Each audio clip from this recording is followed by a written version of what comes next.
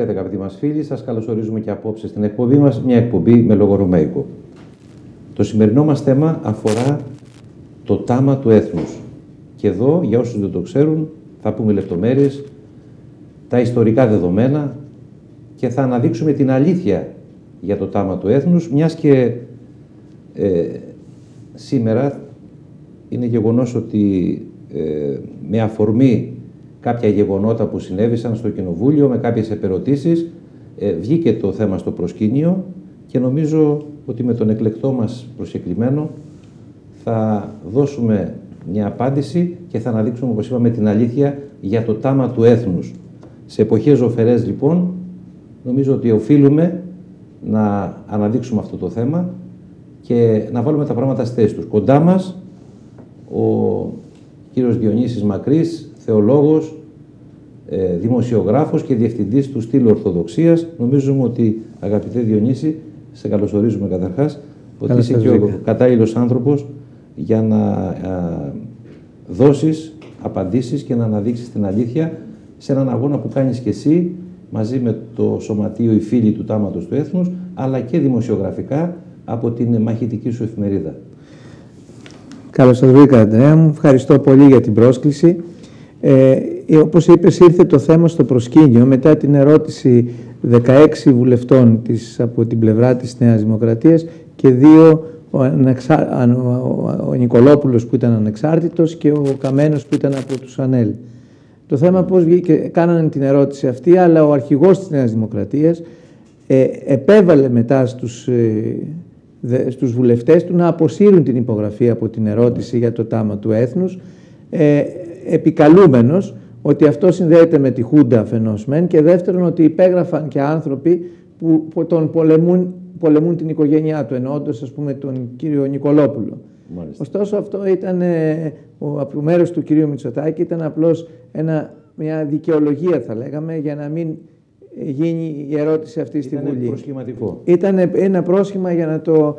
Γιατί ταυτόχρονα τώρα, ίσως θα έχουν ενημερωθεί και οι πολιτικοί αρχηγοί και ίσως γι' αυτό φοβούνται, υπάρχει και μία διεξαγωγή προ, προανάκρισης για το τι έγιναν τα χρήματα που μαζεύτηκαν από τον ελληνικό λαό και από τους ομογενείς μας που ζουν στο εξωτερικό ε, την ε, επταετία της δικτατορίας των συνταγματαρχών για, να, για το τάμα του έθνους. Και η ανάκριση είναι σε προχωρημένο στάδιο και έχει πολλά να δείξει γιατί τα, τα χρήματα αυτά που έδωσαν τότε οι Έλληνες για να φτιαχτεί το τάμα, να αναγερθεί ο ναός του Σωτήρους Χριστού και να υλοποιηθεί η υπόσχεση που είχαν δώσει οι οπλαρχηγοί Αυτό, του 2021. ιστορικά στοιχεία. Ε, πολλοί άνθρωποι δεν ξέρουν τι είναι το Ακριβώς. τάμα του έθνους. Να πούμε και μερικά Και να δούμε και για τον αγώνα που κάνουν σήμερα κάποιοι άνθρωποι, ανιδιοτελώς, και όχι μόνο ανιδιοτελώς, αλλά... Ε, δίνουν την, την περιουσία τους.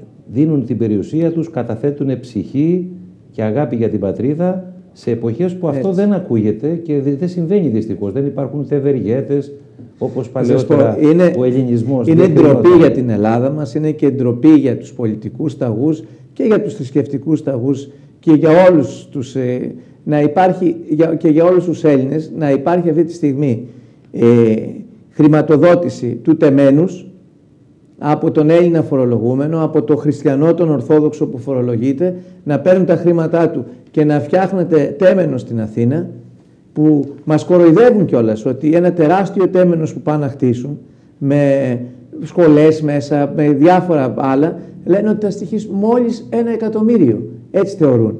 Αλλά από έγγραφο που έχει διαρρεύσει λέει ότι θα πάει 130 είναι ο προπολογισμός. Και παλιότερα, όταν ήταν υπουργός Εξωτερικών η κυρία Μπακογιάννη τώρα, είχε πει ότι ο προπολογισμό για την ανέγερση του τεμένους ανέρχεται στα 80 εκατομμύρια. Τη στιγμή λοιπόν που έχουμε ανεργίες, που έχουμε αυτά, χτίζουμε τέμενο.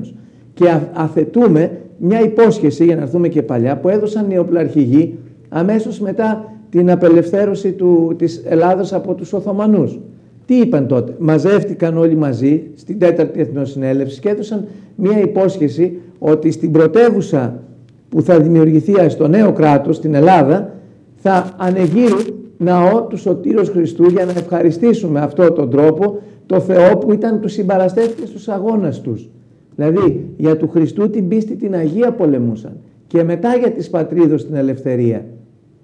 Έδωσαν λοιπόν αυτή την υπόσχεση. Ένα τάμα λοιπόν των αγωνιστών, Ακριβώς. αυτών που απελευθέρωσαν την πατρίδα, το οποίο παραμένει ανεκπλήρωτο 200 χρόνια. σχεδόν από 200 χρόνια και αυτός είναι και ο αγώνας που Και κάνει δεν είναι- πλέον είναι- το σωματείο ναι, ακριβώς. να προλάβει έστω στα 200 χρόνια την εκπλήρωση αυτού του τάματος. Σήμερα, σήμερα, Αντρέα, μου δίνετε ευκαιρία να πούμε και στοιχεία τα οποία δεν ξέρει ο κόσμος.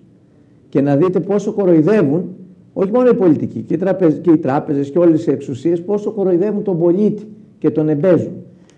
Τα, για παράδειγμα, συνδέ, σύνδεσε ο κύριος Μητσοτάκης, ο οποίος έχει κάνει και άλλα πράγματα, δεν είναι μόνο για το τάμα. Δεν έβγαλε μιλιά για, τα, για το μάθημα των θρησκευτικών, υπέγραψε το σύμφωνο συμβίωσης, έχει κάνει, έχει, ε, ήταν κατά του εκκλησιασμού των Ελληνοπαίδων. Αυτά δεν τα ξέρει ο ελληνικός λαός. Αυτά είναι στη Βουλή από τον κύριο Μητσοτάκη, είναι αρχηγός της Νέας Δημοκρατίας και ε, ε, κολαπτώμενος πρωθυπουργός. Και σήμερα εμποδίζει, εμποδίζει το τάμα του έθνους. Εμπόδιζε δηλαδή τους βουλευτές τους, τους έβαλε όρο να μην υπογράψουν την ερώτηση για το τάμα του έθνους, να δουν τι γίνεται. Λοιπόν, αυτά όλα δεν τα ξέρουν. Και αύριο θα κληθούν να ψηφίσουν και πολύ γρήγορα. Πιστεύω ότι θα έχουμε πολύ γρήγορα εκλογές. Σε ένα-δύο μήνες θα έχουμε εκλογές. Έτσι πιστεύω εγώ. Και αυτέ είναι, αυτές είναι οι πληροφορίες μας. Θα πάνε να τον βγάλουν πρωθυπουργό. Ποιον; Αυτόν που έρχεται σε αντίθεση με τους προγόνους μας. Και δεν είναι μόνο αυτός, είναι και άλλοι. Δεν είναι, δηλαδή το συνδέουν γιατί, γιατί είχαν μαζευτεί τότε, Αντρέα μου, 900 εκατομμύρια από του, επί επταετίας για το τάμα του έθνους. Από αυτά είχαν δοθεί αποζημιώσεις σε κάποιους που είχαν ε, πάρει παράνομα καταπατητές της γης πάνω στο Αττικό Άλσος. Στο Άλσος. Και τους αγόρασαν τότε διαμερίσματα τεσσάρων δωματίων, τεσσάρια δηλαδή, σε πολυκατοικίες. Τους αποζημίωσαν για να φύγουν. Και όταν ήρθε λοιπόν ο, ο Καραμαλής του 1974, του, όχι μόνο τους επέτρεψε να γυρίσουν πίσω στις, στα καταπατημένα τους και να ε, μεγαλώσουν και τις, ε, και τις εκτάσεις που καταπατούσαν, αλλά ταυτόχρονα τους άφησε και τα διαμερίσματα, τα οποία τα είχε πληρώσει ο ελληνικός λαός, από, με έρανο που είχε, δει- που είχε γίνει τότε. Και μάλιστα οι πληροφορίες λένε ότι ήταν 900 εκατομμύρια. Και αυτά τα χρήματα είναι αναπο- αναπαλωτρίωτα, δηλαδή πάνε μόνο για αυτό το σκοπό. Δεν υπάρχει, δεν μπορεί να μπουν ούτε στον προπολογισμό και εκείνη το σκάνδαλο. Το μεγάλο. Αυτό φοβούνται οι πολιτικοί. Και το συνδέουν επίτηδες αυτή την υπόσχεση με την επταετία για να αποφύγουν την αποκάλυψη των σκανδάλων. Γιατί υπήρχαν. Και παράλληλα να ακυρώσουν για άλλη μια φορά Να ακυρώσουν την, αυτή την την εκπλήρωση υπόσχεση. του τάματος. Ακριβώς. Το οποίο τάμα, να το δούμε και λίγο ιστορικά, εγώ ε, χρησιμοποιώ και σαν αφορμή ε, την ε, τελευταία έκδοση της Φωτεινής Γραμμής Ναι. που διανέμεται δωρεάν αγαπητοί φίλοι από το Σωματείο Οι Φίλοι του Τάματος του Έθνους σε έναν αγώνα που κάνουν κάποιοι άνθρωποι, όπως είπαμε, και έχουν αφιερώσει τη ζωή τους για την εκπλήρωση, για να δούμε μέσα από τα στοιχεία αυτά ότι το τάμα, το οποίο ε, οι ίδιοι αγωνιστές το έθεσαν ως θέμα με, αφορ- με αφορμή την απελευθέρωση από το τουρκικό ζυγό, μετά απέκτησε και μία νομική ισχύ. Διότι όπως είπαμε στην Εθνοσυνέλευση, στη Δέλτα Εθνοσυνέλευση, αυτό έγινε νόμος του κράτους, έτσι. Ναι. Αυτό, δεν θε- αυτό θέλουν να αποφύγουν. Θέλω Δεν, να πω ότι, ότι αυτό είναι ισχυρό νομικά ναι, είναι από την πρώτη και εθνοσυνέλευση. δυστυχώς ε, δεν εκπληρώθηκε ακόμη. Ε, παρότι γίνανε προσπάθειες. Γίνανε και- προσπάθειες πολλές, Αντρέα. Δεν είναι μόνο ότι έγινε... Γιατί επί- με- μερικοί το επικεντρώνουν στη Χούντα για, Όχι. να- για διαφόρους σκοπούς. Δεν μας, δεν μας Έγινε- ενδιαφέρει η Χούντα, μας ενδιαφέρει η εκπλήρωση του τάματος. Οι προσπάθειες ξεκίνησαν από, αμέσως μετά τον Καποδίστρια. Υπήρχε Άρα ήταν, πρόταση... ήταν ισχυρή επιθυμία και του Ακριβώς. Καποδίστρια, ο οποίος το έκανε νόμο του κράτους. έτσι. Ακριβώς. Και υπήρχε τότε, υπήρχε τότε μια πρωτοβουλία να χτιστεί δίπλα στο Σύνταγμα. Την πρώτη. Η, μετά οι πολλοί πρωθυπουργοί, ο Ζαΐμ, ο Τρικούπης, ο Βενιζέλος, πάρα πολλοί ασχολήθηκαν με, το τάμα, με την εκπλήρωση του τάματος του έθνους. Αλλά δεν τα κατάφερα, κάποιος τους εμπόδιζε. Και ξέρουμε τι κάνει νιάου νιάου στα κεραμίδια και ποιος τους εμπόδιζε και ποιος τους εμποδίζει. Είναι κάποιοι στο ΕΣ εκεί στην Αχαρνών που δεν θέλουν να εκπληρωθούν. Από εκεί ξεκινάει η αντίδραση για το τάμα. Να λέμε το, το, το δίκαιο και να λέμε και την αλήθεια.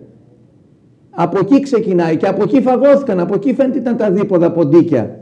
Γιατί θα σας πω τι απάντησε ε, πληροφοριακά, ή τώρα που γίνονται ανακρίσεις, ε, ήρθε στα χέρια μου ε, ένα χαρτί, το οποίο χαρτάκι το κρατάω έτσι για, για ενθύμιο.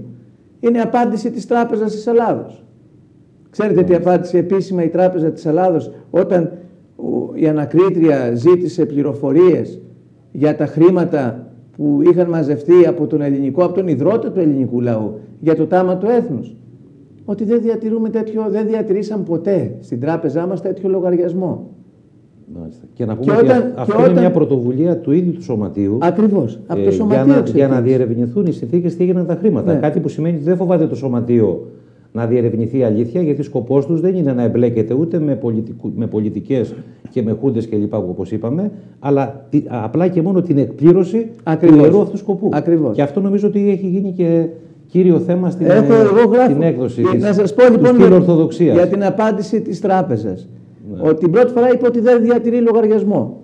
Όταν λοιπόν η ανακριτική αρχή τους, τους έδωσαν το λογαριασμό, κάποιος χριστιανός ίσως είχε κρατήσει την απόδειξη ή δεν ξέρω πώς βρέθηκε στα χέρια της ανακρίτριας ή του ανακριτή, δεν ξέρω ποιος είναι, το, τους είπε ότι αυτός είναι ο λογαριασμός.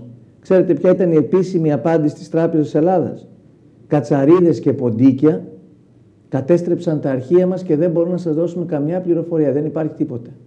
Μάλιστα. Και λέω, ολόκληρη τράπεζα δεν είχε ποντικοφάρμακα, δεν είχε ζυζανιοκτώνα, αυτά κατσαριδοκτώνα, πώς τα λένε, για, να, για τις κατσαρίδες. Βέβαια μπορεί να είχαν βάλει, αλλά αυτά δεν πιάνουν τα δίποδα, ξέρετε, τα ποντίκια. Γιατί ήταν δίποδα αυτά και ήταν δίκοι οι κατσαρίδες. Για να δούμε λίγο το... Έτσι, το...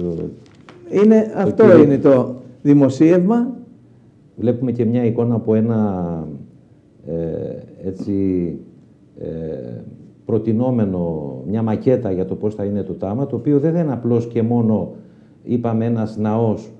Ε, θα είναι ίδρυμα. Θα είναι ένα ίδρυμα, το, οποίο, το οποίο θα τιμά και, και τους φιλέλληνες και τους ήρωες, όλους ένα μνημείο δηλαδή. Θα συντηρείται από δικό του προϋπολογισμό, δεν θα έχει ανάγκη χρήματα κρατικά. Και όχι μόνο αυτό, Αντρέα μου, δεν τους ζητάνε τίποτε. Τους λένε δώστε μας απλώς ένα προεδρικό διάταγμα, ε, μια διαδικασία και είναι. το σωματείο δεν ζητάει χρήματα σαν το τέμενος. Γιατί υπάρχει ο κύριος Αναγνωστόπουλος, να το πούμε αυτό, ο οποίος είναι μεγάλος ευεργέτης και έχει αφιερώσει όλη τη ζωή του στην εκπλήρωση του τάματος.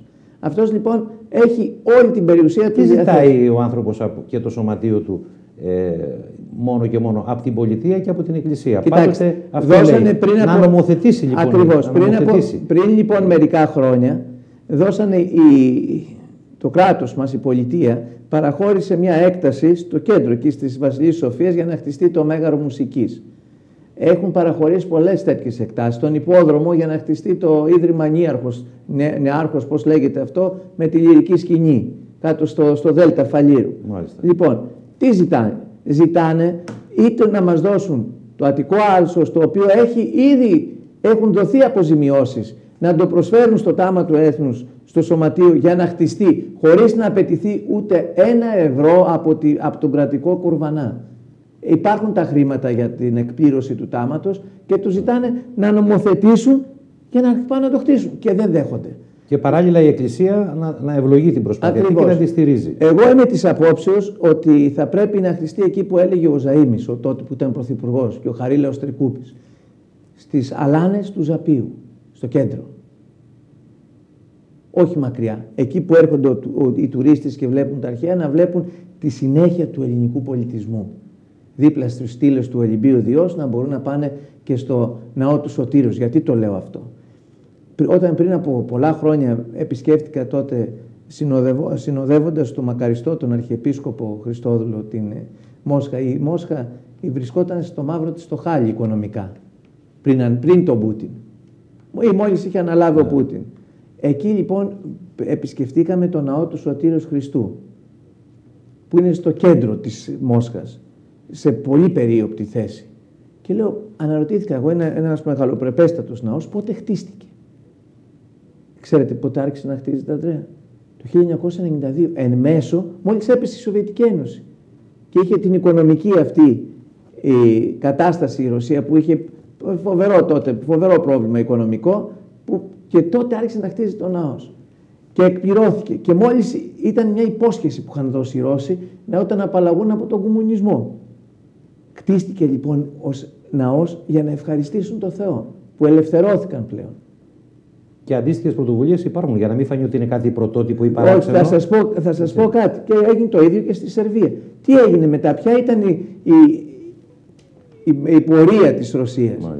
Για να δούμε και το πνευματικό κομμάτι. Ναι, ξαναέγινε μεγάλη δύναμη. Μάλιστα. Εγώ ξέρετε τι πιστεύω; Από τη στιγμή που οι Έλληνες θα αποφασίσουν, και είναι ένα, μια, ένα νομοθέτημα είναι, θα αποφασίσουν λοιπόν να πάμε στην εκπλήρωση του τάματος, στην εκπλήρωση της υπόσχεσης των προγόνων μας και θα φτιάξουμε ένα ναό. Όχι ότι, ότι έχει ανάγκη ο Θεός από ναούς. Εμείς έχουμε ανάγκη, αλλά όπως λέμε, κάνε μου το παιδί μου καλά και εγώ θα πάω στην Παναγιά να ανάψω μεγάλη λαμπάδα. Ε, αυτό δεν το έχουμε εκπληρώσει. Και οι πνευματικοί νόμοι ισχύουν και είμαστε σκλαβωμένοι ακόμη. Αν θέλουμε να απλωθούμε και να πάμε στα γεγονότα, ας φτιάξουμε το, το τάμα. Το οποίο δεν θα αποφέρει μόνο ε, οικονομικά ωφέλη, γιατί θα έχει πάρα πολλές δραστηριότητες και ευεργεσίες προς τους ε, και κοινωνικοί, θα λέγαμε και κοινωνικές παροχές, αλλά θα αποφέρει και την πνευματική αναγέννηση. Ακριβώς. Αυτό, θα, αυτό είναι το σημαντικότερο. Γιατί τα νέα παιδιά θα μάθουν τι είναι αυτός ο ναός που χτίζεται, γιατί χτίζεται. Και θα μάθουν όλη την ιστορία. Θα είναι ένας ναός που θα κουβαλάει μια ιστορία, την νεότερη ιστορία του ελληνικού έθνους. Από, τον, από την απελευθέρωση από τους Οθωμανούς. Δεν θα είναι, θα κουβαλάει, θα είναι και ξέρετε, λαός που ξεχνάει την ιστορία και χαλάει την γλώσσα του, τελειώνει. Έλεγε ένας Ρώσος ε, φιλόσοφος, αν θέλετε να καταστρέψετε ένα λαό, καταστρέψτε τη γλώσσα του και μετά από 50 χρόνια πηγαίνετε και θα σας ανοίξει τις πόρτες ο ίδιος. Εμείς τα καταστρέφουμε αυτά. Άρα ο ναός και ο κύριος Αναγνωστόπουλος είναι μπροστά της όλο αυτό και ε, αξίζουν πολλά συγχαρητήρια. Έχει καταλάβει το νόημα ότι δεν είναι απλώς ένας ναός στο τάμα. Είναι η εκπλήρωση, θα κουβαλάει ολόκληρη την ιστορία του γένους μας, την νεότερη ιστορία και θα δείχνει ο νεάος που θα πηγαίνει στο τάμα και θα επισκέφτεται το τάμα, θα μπαίνει στο ναό, θα καταλαβαίνει ότι αυτό έγινε ως ευχαριστήριο, ως δοξολογία προς το Θεό για τους απελευθερωτικούς αγώνες. Να σας πω και κάτι άλλο. Λένε ας πούμε ότι ο Κολοκοτρώνης αντιμετώπισε τους 30.000 στρατό του Δράμαλη με 2.000 μόνο στρατιώτες στα Δερβενάκια. Τι νομίζετε ότι χωρίς τη βοήθεια του Θεού θα είχαν οι 2.000 απέναντι στους 30.000 θα, είχαν, ε, θα τους είχαν κερδίσει; Κάποιου άλλου πολεμούσε και πολεμούσε ο ίδιος ο Θεός. Γιατί να θυμηθούμε ήξερε... εδώ και, και τον Μακρυγιάννη, τώρα μου έφερνεις στο νου μέσα από την ιστορία που μας διδάσκει, ε, την ιστορία, την υπόθεση με τον Μακρυγιάννη, όταν στους Μήλους, ο τότε στρατιωτικός εκπρόσωπος της Μεγάλης Βρετανίας ε, που είχαν έρθει στην Ελλάδα τότε οι μεγάλες δυνάμεις για να επιβλέψουν την κατάσταση, ε, την εποχή που ο Ιμπραήμ ανέβαινε από, από την νότια Πελοπόννησο προς τα πάνω, είχε πιάσει στους Μήλους ε, να αντισταθεί και να εμποδίσει την περαιτέρω ε, κίνηση προς τα πάνω. Ε, τότε λοιπόν ο Βρετανός ο στρατιωτικός εκπρόσωπος του λέει του Μακρυγιάννη, του λέει στρατηγέ η θέση σας είναι αδύναμες εδώ, δεν θα αντέξετε και η απάντηση μεγάλη ενός μεγάλου άντρα που είχε μέσα του Χριστό και Ελλάδα, αγαπητοί μου φίλοι, τι του είπε. Λέει, μπορεί οι θέσεις μας να είναι αδύναμες, αλλά ο Θεός μας είναι μεγάλος. Και μπόρεσαν και τους νίκησαν λοιπόν. Τα χιλιάδες στήφοι τότε των ε, Τουρκοαιγυπτίων. Και του παιδεραστή τότε, ήταν παιδεραστής ήταν. Και έχουμε και άλλα γεγονότα. Και αφήστε το, γιατί να το συνδέσω και με τα μεσημερινά. Τότε, τότε ο Ιμπραήμ μάζευε τα παιδιά και τα έστειλε στα, στα χαρέμια του πατέρα του.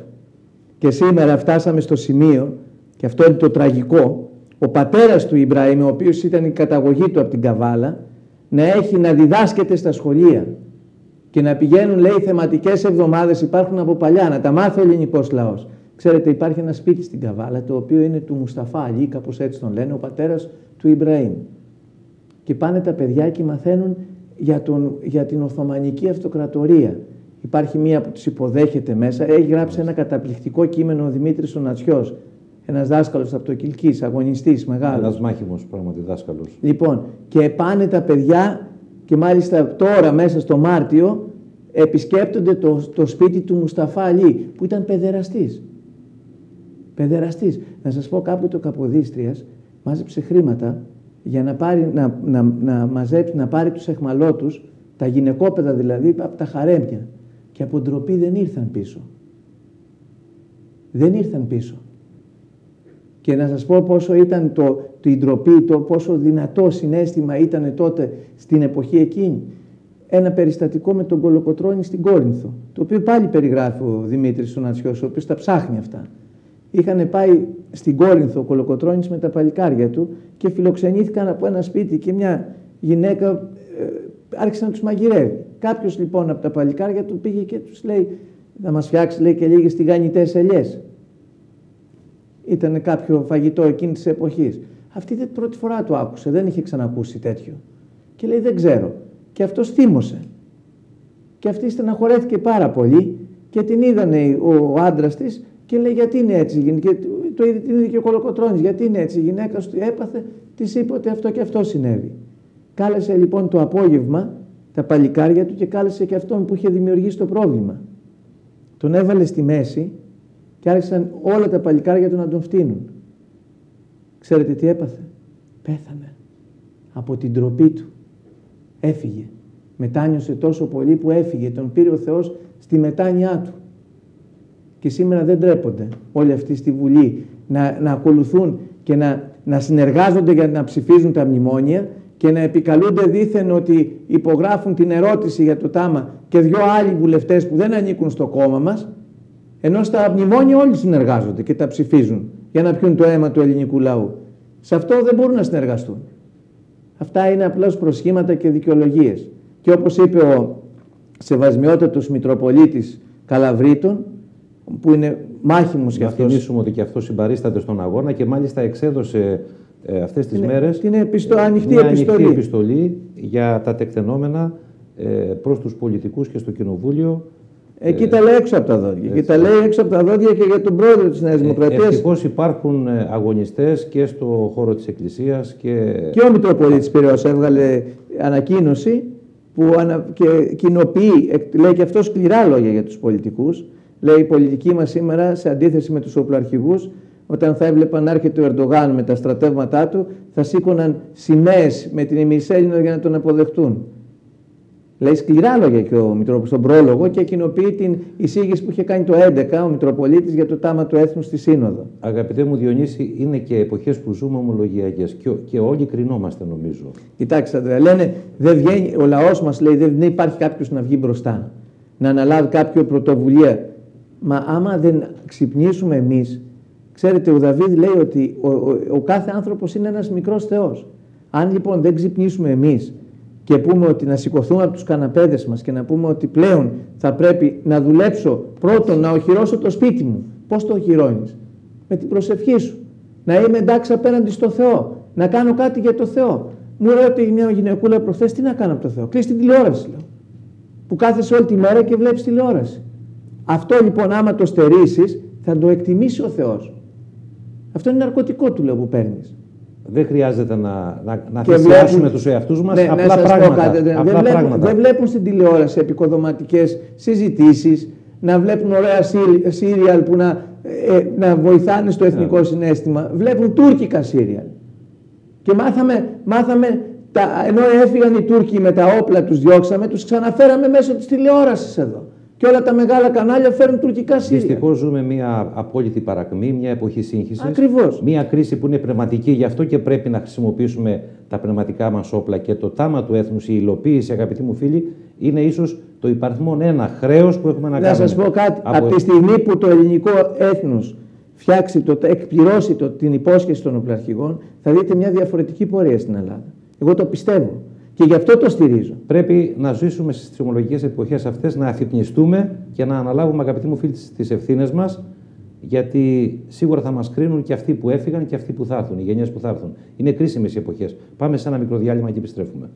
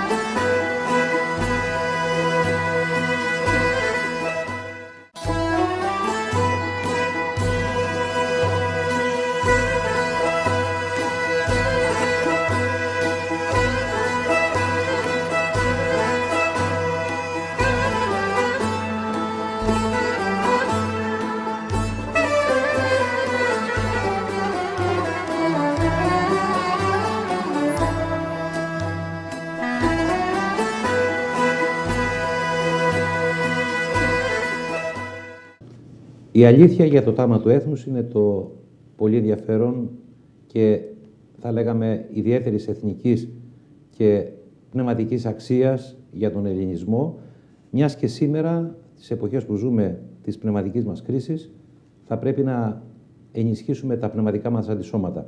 Το τάμα του έθνους, μέσα από τη σημερινή κουβέντα, θα θέλαμε και θέλουμε και προσπαθούμε να το αναδείξουμε μέσα από αυτό το μικρό βήμα.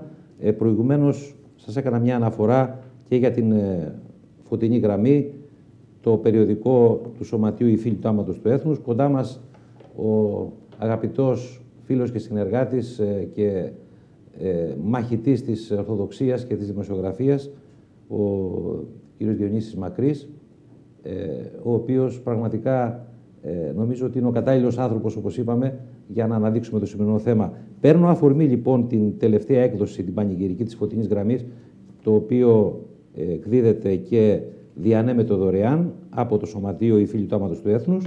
Κάποια στοιχεία για να θυμίσω. Ο Κολοκοτρώνης και όλοι οι αγωνιστές του 21, γράφει η Φωτεινή Γραμμή, έκαναν τάμα στο Χριστό να βοηθήσει να ελευθερωθεί η Ελλάδα και μετά την απελευθέρωση να χτίσουν στην οριστική πρωτεύουσα της Ελλάδος ναός στο όνομα του Σωτήρα Χριστού.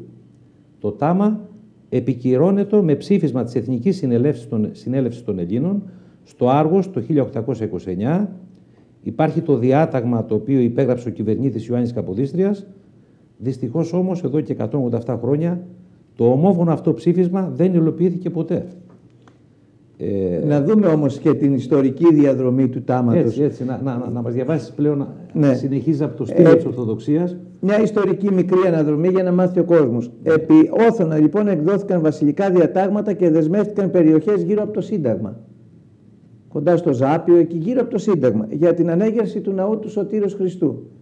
Δεν προχώρησε γιατί δεν υπήρχαν, τότε ήταν η περίοδος της Βασιλείας του και κατά την περίοδο της Βασιλείας του Γεωργίου του Πρώτου, ανάλογα πάλι κινήθηκαν για να χτιστεί, να αναγερθεί ο ναός γύρω από το Σύνταγμα. Ε, στη συνέχεια έχουμε τον αρχιτέκτον τον Λίσανο Καυκατζόγλου που παρουσίασε στο Θησίο τέσσερα σχέδια για την ανέγερση του ναού. Τότε. Πάμε αργότερα. Το 1834 η Αντιβασιλεία, επιόθωνος ακόμη, εκδίδει διάταγμα για την ανέργεση του σωτήρους του ναού του σωτήρους του Χριστού στην Αθήνα προς εκπλήρωση του τάματος. Ο κόρος που είχε επιλεχθεί έφυγε μετά από το Σύνταγμα, ήταν πλησίον της σημερινής πλατείας Ομονίας. Ωστόσο και αυτό έμεινε στα χαρτιά. Τότε είχαν οικονομικά προβλήματα, πάρα πολύ μεγάλα. Λοιπόν, το 1870 με τη συμπλήρωση 50 ετών από την Επανάσταση του 21, η ανέγερση ενό μνημείου για την Αθηναγερσία επανήλθε με την πρωτοβουλία, όπω είπαμε, του βασιλιά Γεωργίου του Πρώτου και την υποστήριξη τη κυβέρνηση του Στρασίβουλου Ζαΐμι. Έγιναν και σχέδια από το Γερμανό τότε το Τζίλερ, είναι γνωστός, αλλά και αυτά μείναν έτσι. Αργότερα, το 1908, ο Δημήτριος Βικέλας, αυτά να τα ξέρουν, γιατί οι πολιτικοί το συνδέουν με τη, με τη Χούντα. Έτσι, έτσι. Ο Δημήτριος Βικέλας πρότεινε την ανέγερση ενός ηρώου ανεξαρτησία στο λόφο του Λικαβητού. Πάμε αργότερα. Το 1921, από το, 18, είχε, από το 1918 είχε σχηματιστεί τότε μια κεντρική επιτροπή με επικεφαλή στον πρόεδρο της Βουλής Θεμιστοκλής Σοφούλη, ενώ ο Πρωθυπουργός, ο τότε Πρωθυπουργός Ελευθέριος Βενισέλος, από τη θέση του Προέδρου της Ειδικής Επιτροπής Μεγάλου Μνημείου έδωσε τη συγκατάθεσή του για την ανέγερση του τάματος, του έθνους και είπε ότι θα γίνει στο λόφο του Αρδιτού. Λοιπόν, και εκεί δεν έγινε. Λόγω της μικρασιατικής καταστροφής υπήρχαν προβλήματα και σταμάτησαν τα σχέδια. Ερχόμαστε ε, αργότερα επί επιτροπής του μνημείου με πρόεδρο τότε τον Αλέξανδρο Ζαΐμι. Έγινε το 1928 νέα προσπάθεια. Και εκεί ήταν για το πεδίο του Άρεος. Το οποίο υπάρχει και σήμερα. Εκεί το είχαν ονομάσει σαν μνημείο των ηρώων για να τιμήσουν συνολικά. Θα υπήρχε, θα υπήρχε όμως και ναός του Σωτήρου Ναι, ναι. Θα ήταν μαζί, όλα μαζί. Γι' αυτό λέω κουβαλάει, θα κουβαλάει μια ιστορία η εκπλήρωση του τάματος. Και επί δικτατορίας επιλέχθηκε ως χώρος αναγέρωσης, όπως είπαμε, το Αττικό Άλσος, τα γνωστά τουρκοβούνια. Και εκεί δεν προχώρησε. Δεν είναι δηλαδή ένα θέμα που επίτηδες ίσως και είναι ανιστόρητος. Εγώ τον λέω ότι είναι ανιστόρητος. Το πεδαρέλι που αύριο θα έχουν πρωθυπουργό ο Μητσοτάκης, ε, εκολαπτώμενο. Εγώ τα λέω έξω από τα δόντια. Συγγνώμη, Αντρέα, αλλά τα λέω. Όπως τα λέω και για τον Άθεο, τον Τζίπρα και για όλους. Δεν έχω κανένα φόβο. Λοιπόν, αυτό λοιπόν το πεδαρέλι ήταν ανιστόρητο. όταν είπε στους βουλευτές τους να αποσύρουν την πρόταση, την υπογραφή τους από την, από την ερώτηση στη Βουλή. Και τώρα, όταν θα έρθουν, εγώ θέλω και το παρακαλάω, όταν θα έρθουν βουλευτές του ΣΥΡΙΖΑ πλέον, θα το δείτε αυτό. Να υποστηρίζουν και να κάνουν ερώτηση για το τάμα του έθνους, θα δείτε πώς θα στροφεί ο λαός και θα, θα, τον φτύσει. Όπως είπε ο Μητροπολίτης Καλαβρίτων, θα γίνει, λέει, πιθανό να γίνει και ο τάφος του. Δηλαδή ο πολιτικός τάφος εννοεί, εννοεί, του πρόεδρου της Νέας Δημοκρατίας. Γιατί ενώ πήγαινε καλά, βέβαια έκανε ένα καλό, το έφερε στο προσκήνιο. Και τώρα είναι μεγάλη ευκαιρία στον ελληνικό λαό να μάθει τι είναι με το τάμα και να αρχίσει να πιέζει. Γιατί τα χρήματα που μαζεύτηκαν ήταν 900 εκατομμύρια. Από τον Ιδρώτα πήγαινε, θυμάμαι ο πατέρας μου, η μητέρα μου, πηγαίνανε στην τράπεζα για κάποια συναλλαγή και ο υπάλληλος, ο οποίος ήταν χριστιανός, τους έλεγε: Θα βάλετε και κάτι για το τάμα. Και όλοι έβαζαν. 900 εκατομμύρια είχαν μαζευτεί. Το 1974. Ο απλός λαός από το εστέρημά τους και από την αγάπη στην πατρίδα. Πού πήγαν αυτά τα χρήματα; Αυτά δεν είχε κανένας δικαίωμα με βάση τους νόμους του κράτους να τα πειράξει. Πού πήγανε λοιπόν αυτά τα χρήματα; Οι ποινικές ευθύνες έχουν σταματήσει. Τώρα έχουν παραγραφεί τα ποινικά αδικήματα. Και αυτοί λοιπόν που τα φάγανε δεν έχουν να φοβηθούν τίποτε και οι οικογένειές τους μέχρι σήμερα που ξέρουμε ποιοι είναι. Αλλά ήταν τα δίποδα ποντίκια που είπαμε, που πήγανε στις τράπεζες, δεν είχαν και καταστρέψαν και τα αρχεία. Αλλά το θέμα ποιο είναι; Ο Θεός δεν το έχει ξεχάσει. Είδε και την πρωτοβουλία του λαού. Το εκτίμησε αυτό. Αλλά εμείς τι κάνουμε σήμερα; Τα περνάμε έτσι; Τα περνάμε έτσι όλα τα θέματα; Δηλαδή κάνουμε μια προσπάθεια σήμερα για τη, για τη χώρα μας. Και θα έρθει άλλος να την καταστρέψει. Θα τον αφήσουμε έτσι; Νομίζω ότι είναι ιερό χρέος πλέον του κάθε Έλληνα πολίτη. Και θα το έλεγα και είναι και πρόταση να σταθούν δίπλα στην οικογένεια του κυρίου Αναγνωστόπουλου.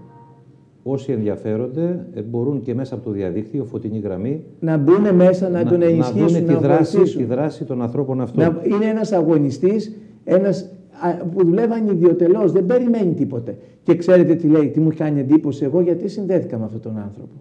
Μου λέει, εγώ δεν θέλω ούτε να με τιμήσουν, ούτε καμιά πλάκα ανεγέρσεως να μου βάλουν ότι επί εποχής αναγνωστοπούλου με δωρεάν αναγνωστοπούλου. Δεν τα θέλω λέει. Είναι ε, κατηγορηματικά αντίθετο σε αυτό. Εγώ θέλω απέναντι στο Θεό να πάω να δώσω, στο απολογητικό βήμα. Και έχω όλη την περιουσία μου που με υδρότατη μάζεψα. Έτσι. Γιατί δούλευε από μικρό παιδί και έτρεχε και μέχρι τώρα. Και 40 χρόνια στη Γερμανία. Και, ναι, και, μέχρι τώρα, και μέχρι τώρα. Και έχει αφιερώσει. Έχει, έχει ψυχή, ψυχή και σώμα νέο τον αγώνα αυτό. Και δουλεύει. Να διαβάσω λίγο από αυτού, ε, ναι. μέσα πάντα από την ε, έκδοση την τελευταία. Τα τελευταία χρόνια και προς τον σκοπό αυτό δραστηριοποιείται το Ίδρυμα Προασπίσεως Ηθικών και Πνευματικών Αξιών και το Σωματείο Φίλοι του Τάματος του Έθνους.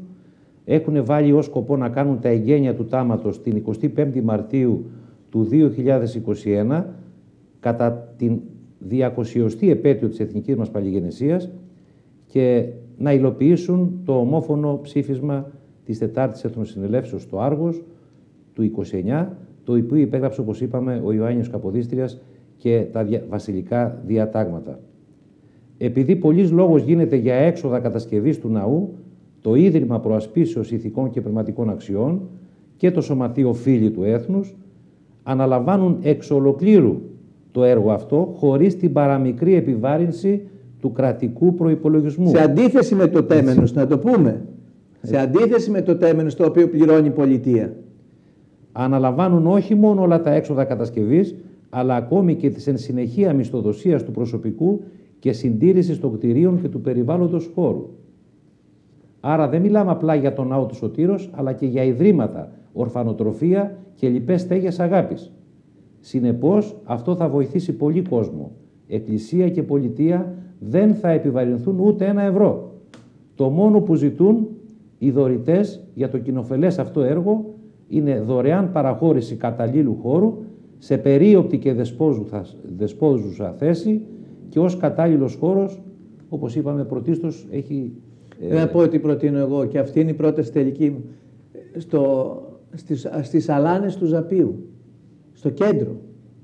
Είναι η ιστορία μας. Είναι η ιστορία μας, η νεότερη ιστορία μας. Εκεί πρέπει να χτιστεί. Είναι υπόσχεση των οπλαρχηγών. Εκεί πρέπει να αναγερθεί. Και αν χαθούν και μερικά δεντράκια, όπως λέει ο κύριος Αναγνωστόπουλος από εκεί, λόγω του έργου που θα είναι, χίλια δέντρα θα φυτέψει αλλού. Στο ένα θα το αντικαταστεί με χίλια. Αν κοπούν πέντε δέντρα, πέντε χιλιάδες δέντρα. Αγαπητέ Τι άλλο να πει; Διονύση, Και εγώ κάτι άλλο να πούμε. προβληματίζομαι Να και σας λέω, πω και κάτι. Δηλαδή, ε, ε, προσφέρεται ένας ευεργέτης, Θα ένας σας πω, άνθρωπος να τα πούμε έξω από τα ανιδιοτελώς και τον κοιτάμε καχύποπτα και παράξενα και φρενάρουμε Θα σας με πω, τον διάφορα πολλοί τον προσχήματα. πλησίασαν, πολλοί τον έχουν πλησιάσει και το ξέρεις πολύ καλά, Αντρέα, και η θρησκευτική μας ηγεσία και οι- πολλοί από τους, από, να πούμε και να τα λέμε και τους στραβού το δίκαιο. Όχι για να εκπληρωθεί το τάμα, το πώς θα βάλουν στο χέρι την περιουσία. Γιατί υπήρχαν προτάσεις των ίδιων, δώστα στην Εκκλησία και η Εκκλησία θα το εκπληρώσει. Τι έχει εκπληρώσει η Εκκλησία. Να το φτιάξουμε και αυτό θα είναι τη Εκκλησία και του έθνους. Γιατί να δώσω την περιουσία, λέει ο κύριος Αναγνωστόπουλος, στην Εκκλησία, από τη στιγμή που έχω, ολο- την έχω δώσει για την εκπλήρωση του τάματος. Είναι στο σωματείο. Πολλοί θα πούν το, ε, το ίδρυμα αυτό που θα γίνει με τον περίλαμπρο ναό και όλα αυτά τα ευαγή ιδρύματα θα ανήκουν στο, στον κύριο Αναγνωστόπουλο ή στο τάμα του έθνους; Όχι, θα ανήκουν στην πολιτεία. Στην Εκκλησία θα ανήκουν και στην πολιτεία. Στην Ορθοδοξία Στην λοιπόν και στο Ορθοδοξία. έθνος. Ακριβώς. Στην Ορθοδοξία και στο έθνος. Και δεν θα Ούτε έχει η τίποτε. διοίκησή του ουσιαστικά και η διαχείρισή του θα εμπλέκεται. και- Κανένας δεν θα, Θα εμπλέκεται. ορίζονται Άλλωστε είναι άνθρωποι και, με- και ο εκάστοτε αρχιεπίσκοπος και Ακριβώς. οι τοπικοί μητροπολίτες θα έχουν τη διοίκηση και την διαχείριση του έργου. Και είναι, Οπότε είναι και δεν μεγάλης αφορά- ηλικίας. Δεν αφορά ο κύριος κάποια Αναγνωστόπουλος, κοινοδοξία. Ναι, ο κύριος Αναγνωστόπουλος είναι μεγάλης ηλικίας και δεν έχει τέτοια, από τέτοια ανάγκη. Δεν έχει φιλοδοξία δηλαδή να Η ηγηθεί. φιλοδοξία του είναι να φτάσει στο απολογητικό βήμα και σας το λέω με το, γιατί έχω μιλήσει πολλές φορές μαζί του και να πει ότι εγώ Χριστέ μου έκανα, έδωσα τα πάντα και θυσίασα τα πάντα, όλα αυτά που εσύ μου χάρισες στη ζωή μέσα από, τους, από την εργασία μου, θυσίασα τα πάντα να τα δώσω για την ανέγερση και της, του ναού του Σωτήρος, της υπόσχεσης των Τι οπλαρχηγών. ζητάει ο κ. Αναστοπούλος. Τίποτα αυτό; Από την πολιτεία να νομοθετήσει, να διευκολύνει Ένα, ένα νομοθέτημα, τίποτα, να ορίσει ένα χώρο. και η Εκκλησία να υποστηρίξει και να ευλογήσει την Ναι, η προσπάθεια αυτή. Εκκλησία δεν το υποστηρίζει. Όταν βλέπεις ένα, ένα θέμα, τότε είχε κινηθεί με τον Καλαβρίτων και δημιουργήθηκε μια επιτροπή. Όταν βλέπουμε να δημιουργείται μια επιτροπή και να πάει το θέμα σε επιτροπές, έλεγε ο Μακαριστός ο Σεραφείμ, αν θες να θάψεις ένα θέμα, βάλ το σε επιτροπές. Λοιπόν, αν η, η σημερινή ηγεσία της Εκκλησίας της Ελλάδος ήθελε να προχωρήσει την ανέγερση του σωτήρου ναού, θα το είχε κάνει. Θα το έβαλε προτεραιότητα. Θα ήταν στα υψηλά θέματα. Αλλά πώς να το Δεν κάνει. μπορώ να Όταν φανταστώ. διάβασα, δεν μπορώ διάβασα να Ανδρέα, φανταστώ ότι μου, η Εκκλησία διάβασα μια που θα πρέπει να συνέντευξη. πρωτοστατεί και να ευλογεί. Θα σας δεν πω, μπορώ να διάβασα φανταστώ. προχθές μια συνέντευξη του Μακαριωτάτου. Έδωσε στην εφημερίδα Παρών, στη σελίδα 12, αναγράφεται, στη 19 Φεβρουαρίου. Εγώ δεν το πίστευα, μου το είπαν στο τηλέφωνο και λέω, αν δεν το δω με τα μάτια μου δεν το πιστεύω. Τρεις ερωτήσεις δέχτηκε μεταξύ των άλλων ο Αρχιεπίσκοπος. Η πρώτη ήταν αν από τα παιδιά μαθητές του Λυκείου. Η πρώτη λοιπόν ερώτηση που δέχτηκε ο Μακαριώτης Αρχιεπίσκοπος ήταν αν έχει αμφισβητήσει ποτέ το Θεό. Τον αμφισβητώ λέει κάθε μέρα. Άκουσον, άκουσον. Και τότε και σήμερα και πάντα. Μέχρι σήμερα τον αμφισβητώ. Που μιλάμε, αλλά το παλεύω. Μάλιστα. Δεύτερη ερώτηση. Εάν οι άνθρωποι πρέπει να βαφτίζονται νήπια ή θα πρέπει να ενοικιώνονται και να αποφασίζουν οι ίδιοι αν θα γίνουν χριστιανοί ή όχι. Αντί να ανατρέψει την ερώτηση αυτή και να πει μπορούμε τότε στο παιδί να μην του στερήσουμε το γάλα και να πούμε άστο να αποφασίσει αυτό όταν θα μεγαλώσει και θα ενοικιωθεί αν θα πρέπει να πιει γάλα. Αντί να το ανατρέψει λοιπόν να το κάνει το ερώτημα διαφορετικό, τι είπε; Αυτό λέει το θέμα. Επιβλήθηκε κάποτε από, τις κοινωνι... από την κοινωνία. Και εμείς το βρήκαμε και το συνεχίζουμε. Η απάντηση του προκαθημένου της Εκκλησίας μας. Και η τρίτη, η πιο Αυτά είναι καταγεγραμμένα επίσημα λοιπόν σε συνέντευξη. τα έχω στο δημοσίευμα, σε συνέντευξη. Και η τρίτη ερώτηση, που μακαριότατη του λένε τα παιδιά, πώς πρέπει να στεκόμαστε απέναντι στο θάνατο, με φόβο ή με ελπίδα; Η απάντηση του μακαριωτάτου. Εγώ ακόμη αυτό το θέμα δεν το έχω λύσει. Και εγώ το ψάχνω μαζί με εσάς. Μάλιστα. Δηλαδή η ευχή που δένει, που λέει στην νεκρόσιμη ακολουθία, στην εξόδιο ακολουθία, τον θάνατο καταργήσας. Δεν τον συγκλονίζει. Δεν αναρωτιέται. Θα βρεθεί, για ποια λοιπόν ηγεσία μιλάμε, Αντρέα μου; Έναν άνθρωπο προκαθήμενο, αρχηγό της Εκκλησίας μας που αμφισβητεί το Θεό κάθε μέρα και το παλεύει, παλεύει με τον εαυτό του για την ύπαρξη του Θεού ή όχι; Έναν άνθρωπο που βγάζει το σταυρό του για να πάει να μην ερεθεί στους Ισλαμιστές, τους Μουσουλμάνους όταν τους επισκέφτηκε στον Πειραιά. Ποια ηγεσία λοιπόν θα αναλάβει την εκπλήρωση του τάματος του έθνους; Για μένα ήταν ντροπή αυτή η συνέντευξη. Ειλικρινά και είναι και το μεγαλύτερο θα, κάνω, θα αφιερώσουμε μεγάλο ε, σελίδες ε, στο στήλο Ορθοδοξίας και θα το σχολιάσουμε γιατί δεν ψάχνεις ως προκαθήμενος της Εκκλησίας, έχεις τον Χριστό μέσα, είσαι ολοκληρωμένος χριστιανός. Δεν ψάχνεις να βρεις το Θεό. Αν ψάχνεις πήγαινε και γίνε διογέννης και πάρε και το φανάρι. Λοιπόν, αυτά είπε. Πώς λοιπόν η ηγεσία μας θα αναλάβει ένα τέτοιο βαρύ εποχές, εποχές που κρινόμαστε όλοι. Όλοι κρινόμαστε. Και είναι και εποχές ομολογίας. Εγώ σας είπα και Εγώ τη πιστεύω σελίδα... και πολύ στον απλό αγνό ελληνικό λαό. Αυτό, Αντρέα, και, είναι το μυστικό. Και, και η εκπλήρωση του τάματος είναι η επιθυμία Όσο, λοιπόν... όλου του απλού λαού, οι οποίοι κατά χιλιάδες διαιρωτώνται. Πρέπει γιατί... να κάτι να κάνουμε. Να σας πω κάτι. Δεν είναι ο Θεός τι περιμένει; Το ένα βήμα. Ας σηκωθούμε λοιπόν από τους αναπαυτικούς καναπέδες μας και ας πάμε, ας πάρουμε τηλέφωνο τον κύριο Αναγνωστόπουλο. Ένα πρώτο βήμα και να του πούμε, έλα εδώ κύριε Αναγνωστόπουλο, τι κάνεις εσύ εκεί πέρα, θες καμιά βοήθεια, να σου στείλω κάτι από εδώ. Τι να κάνω εγώ εδώ στο χωριό μου, που σας ακούω από το χωριό μου για το τάμα. Τι μπορώ να κάνω. Αυτό θα το εκτιμήσει ο Θεός. Δεν θέλει πολλά, θέλει τη διάθεση της καρδιάς ο Θεός. Με τη διάθεση της καρδιάς μας κρίνει και εκεί μετά μας ενισχύει για να προχωρήσουμε στην πράξη. Αν όμως η διάθεση της καρδιάς μας είναι από, έχει ακιδεία και δεν θέλουμε να κάνουμε τίποτε και τα περιμένουμε ποιος θα τα κάνει ο ένας ή ο άλλος ή περιμένουμε τι θα μας πούνε οι Ευρωπαίοι, βγάλαμε στην εφημερίδα σε αυτό το τεύχος τον Άγιο Αναστάσιο το Γόρδιο. Ήταν δάσκαλος του Αγίου Κοσμά. Ένας από τους μεγάλους διδασκάλους του γένους μας. Τον λέγανε επί εποχής του Νέο Αριστοτέλη. Λοιπόν, αυτός έχει μιλήσει για τα δύο θηρία της Αποκάλυψης και έχει ερμηνεύσει την Αποκάλυψη, Ανδρέα, με ένα ξεχωριστό τρόπο. Και είναι, το βιβλίο του σήμερα είναι πιο επίκαιρο από ποτέ. Γιατί; Λέει για τα δύο θηρία. Το ένα θηρίο της ασεβ, που θα βγει μέσα από την ασέβεια του Αντιχρίστου, το ταυτίζει με το Μωάμεθ, τον Ισλαμισμό. Το άλλο θηρίο που θα βγει μέσα από την ευσέβεια, το ταυτίζει με τον Πάπα. Και το ερμηνεύει και έχει στοιχεία. Έχει αποδείξεις. Σήμερα τι, ποια θηρία πνίγουν την Ελλάδα. Απ' τη μια έχουμε τη λαθρομετανάστευση και τον Ισλαμισμό που επιχειρεί να, να, να μπουκάρει έτσι στην Ελλάδα και να μας αλώσει κατά το, κατά το λογοπαίγνιο του Οζάλ τότε, του, του Τούρκου προέδρου Οζάλ που λέει δεν χρειάζεται να στείλουμε στρατό, να στείλουμε μια φουρνιά λέει από Ισλαμιστές και τελείωσε η Ελλάδα και απ' την άλλη έχουμε τη Δύση με τους δανειστές τους τοκογλύφους που κάθε φορά μας απειλούν, μας εκβιάζουν, μας πίνουν το αίμα σιγά σιγά με το καλαμάκι. Και εμείς τι καθόμαστε, πώς θα ε, εξασφαλίσουμε τη σύνταξη, εγώ σας το λέω, διαβάστε το τρίτο μνημόνιο και θα δείτε ότι η σύνταξή σας θα φτάσει στα 280. Ό,τι και να κάνετε, δεν προειδάει 280. Ο βασικός μισθός 480. Μόνο τις ρήτρες να διαβάσουν από το τρίτο μνημόνιο. Ακριβώς. Ε, είναι 4-5 ρήτρες, αρκεί να καταλάβει κανείς. Να διαβάσει. Γιατί δεν διαβάζει, περιμένετε να σας ενημερώσει. Δυστυχώς, αγαπητέ μου Διονύση, και δυστυχώς και ο χρόνος ε, μας περιορίζει και πρέπει να κλείσουμε, αλλά ε, ε, λέμε δυστυχώς και για το ότι υπάρχει τρομερή σύγχυση, την οποία την εκμεταλλεύεται όλο αυτό το συστημικό. Ακριβώς. Ε, ε, τα ΜΜΕ, όλο αυτό το πλαίσιο το συστημικό. Ε, και υπάρχει, όχι Είναι μόνο υπάρχει παραπληροφόρηση, δεν υπάρχει σωστή ενημέρωση και προσπαθούν να πνίξουν την αφύπνιση Ακριβώς, για τον κόσμο. Ακριβώς. Και αυτό τον αγώνα που κάνουμε εμείς εδώ από το μικρό αυτό ε, βήμα είναι κυρίως αγαπητοί μου φίλοι και πάνω σε αυτό στηριζόμαστε να κάνουμε αγώνα αφύπνισης. Γιατί όπως είπαμε τα όπλα μας είναι πνευματικά. Έτσι, από εκεί ξεκινάει. Γιατί ο, ο πόλεμος φίλοι μου είναι, είναι καθαρά πνευματικός.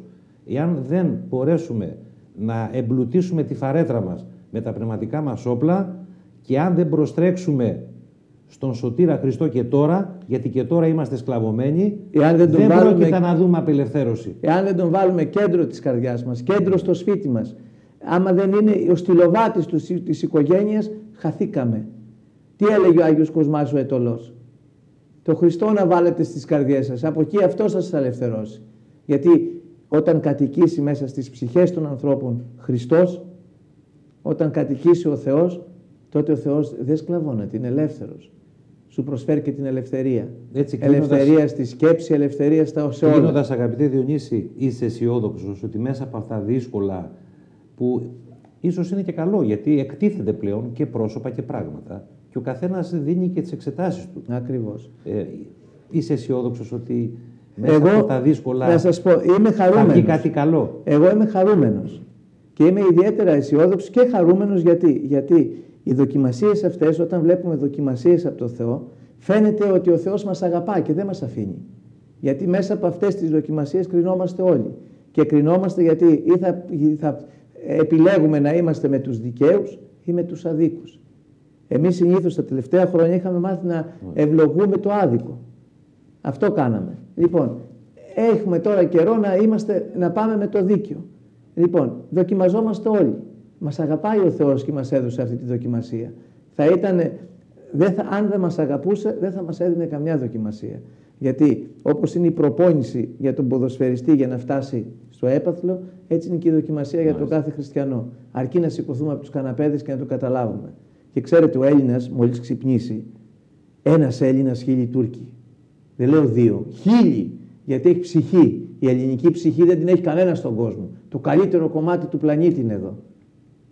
Γι' αυτό φεύγουν τα παλικάρια μας, τα διώχνει όταν φεύγουν στο εξωτερικό για να προοδεύσουν. Εδώ θα προοδεύσουν.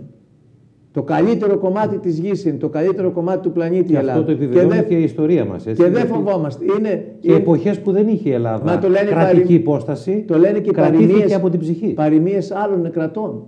Υπάρχει μια ρωσική παροιμία που λέει ότι ο Θεός ας πούμε κράτησε το τελευταίο κομμάτι για τον εαυτό του και πήγαν Έλληνες καθυστερημένοι να το ζητήσουν και τους το παραχώρησε.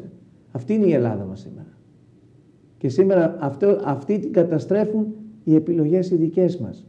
Επιλέγουμε με κύμβαλα αλλάζοντα για να μην πω ντενεκέδες ξεγάνοντες όπως έλεγε ο, ο Γιαννόπουλος. Θα δώσει ο Θεός γιατί πάντα υπάρχει το λίμα, έτσι Διονύση. Να προσέξουμε στις επιλογές μας και να έχουμε τη διάθεση της καρδιάς μας ναι. προσιλωμένη στο Θεό. Ο Θεός θέλει να έχουμε πίστη αλλά και αγωνιστικό φρόνημα. Ακριβώς. Έτσι, δεν και να μην φοβόσαστε τίποτε. Δεν γίνονται όλα από μόνα Μην φοβόσαστε τίποτε. Έτσι. Αν ξέρετε τι λέγανε οι μανάδες τότε στο, το 1821 όταν γεννούσαν αγόρια.